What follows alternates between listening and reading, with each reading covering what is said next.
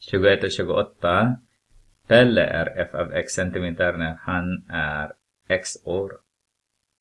Okej. Okay. När han är 14 år är han 162 centimeter lång och varje äh, växer 8 centimeter per år. Beskriv detta matematiskt med funktion f. Så har vi y. y är lika med f av x. Så har vi y när han var 162 är f av, han, hur gammal är han? Eh, 14. X är år.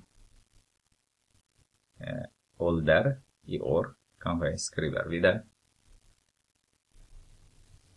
Det är jätte, jätteviktigt att vi skriver. X är ålder.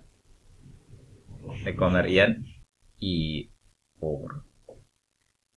lite konstigt när det kommer sådana vagnar utanför.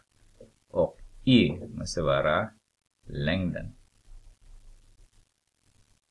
I centimeter. Jätteviktigt det är sådana att ni måste deklarera vad ni, vad ni menar.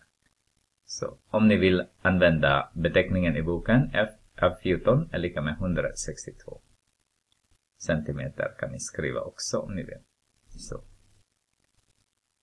Och f prim av 14, när han var 14, så växer han 8 centimeter per år. Det är det som de vill att vi ska skriva.